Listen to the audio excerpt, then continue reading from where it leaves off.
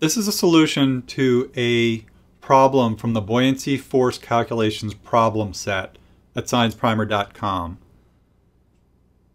The entire interactive problem set is available for free at the link in the video description. The problem we're going to solve is to calculate the buoyancy and gravitational forces acting on an object suspended in water. We're told that the object has a mass of 55 grams and a volume of 12.2 cubic centimeters. I find it helpful to have a visualization of what we're talking about here. So up in the corner, I'm going to draw a container with water in it and an object suspended in that water. Gravitational force is pulling downward. And the buoyancy force is in the opposite direction. That'll be FB. So we've got gravitational force, buoyancy force.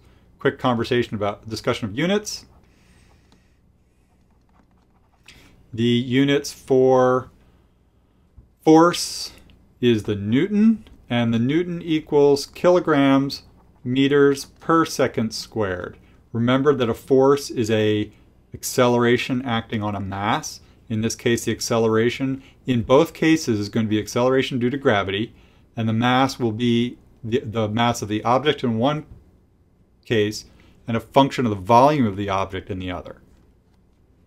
In both cases, for both buoyancy force and gravitational force, we're going to do mass times gravity. And that will equal the force.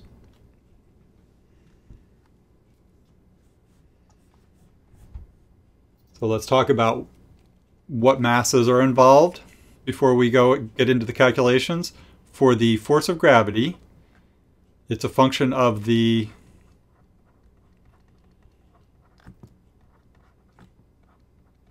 the mass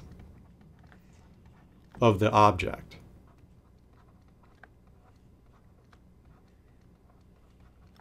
So as the mass of the object goes up, the force of gravity will increase.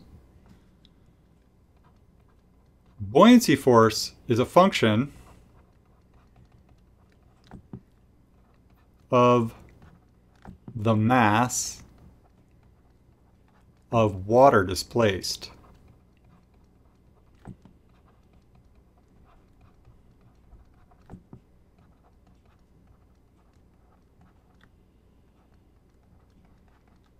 Yeah, the relationship is the same. The more water displaced,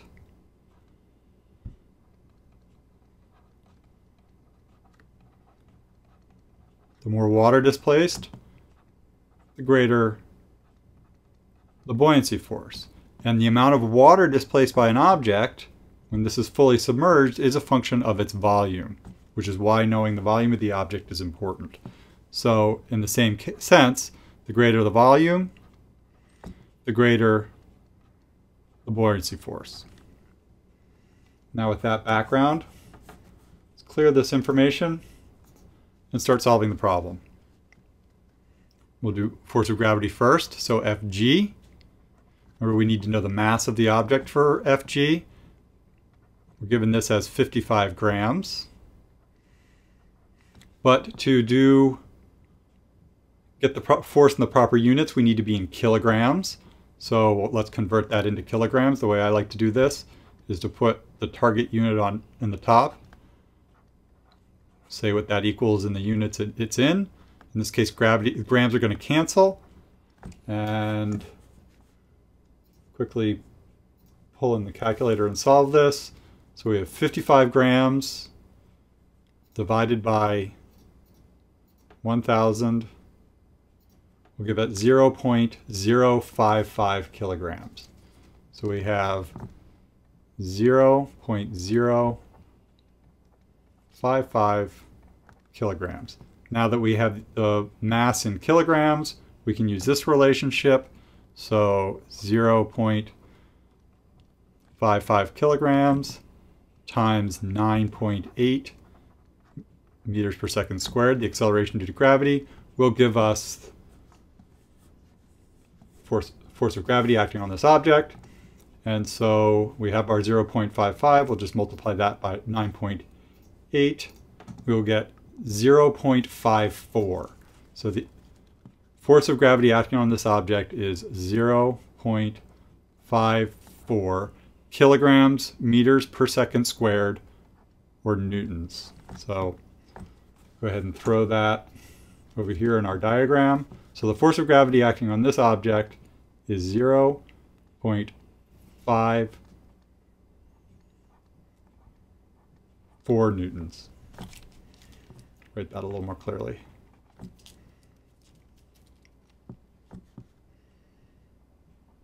Ah. Of course, once I start erasing, I will never get this right. Zero five four newtons. We can clear this this information and go on to the second half of the problem. So the, the second half, we'll do the buoyancy force. Remember, this is a function of the volume of the water displaced or the mass of the water displaced. And we get to the mass of the water displaced from the volume of the object. To do this, we actually need to know the density of water to go from volume to mass. And the relationship is density equals mass over volume. The density of water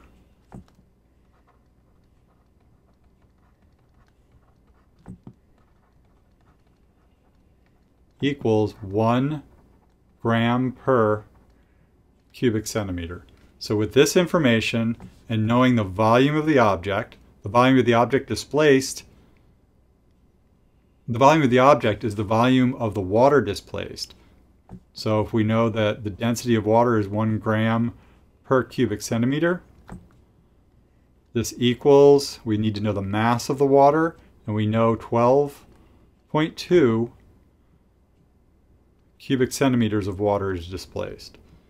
Since this is 1, if we just multiply both sides of this equation by the 12.2, the cubic centimeters are going to cancel and we'll end up with 12.2 grams of water. So that's the mass of the water displaced. Converting this to kilograms, and I won't pull the calculator in, but you can check this, 0.0122 kilograms multiplied by the same acceleration due to gravity, 9.8 meters per second squared. This will give us our answer.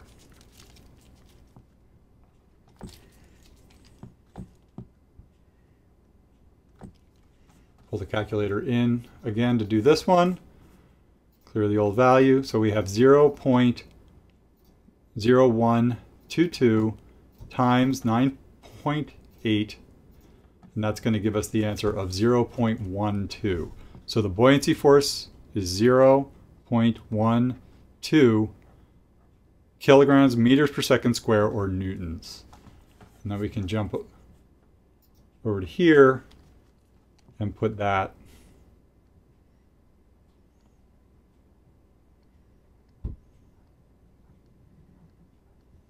Zero point one two newtons.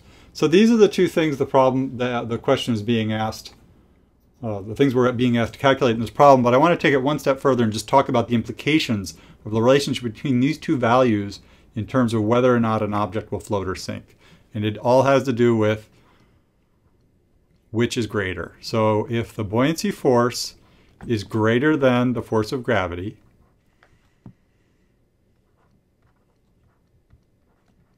an object will float. If the buoyancy force is less than the force of gravity, an object will sink. So looking at these two, we see that 0.12 and 0.12 0.54 newtons. 0 0.5, 0 0.12 is less than 0.54, so in this case the object will sink.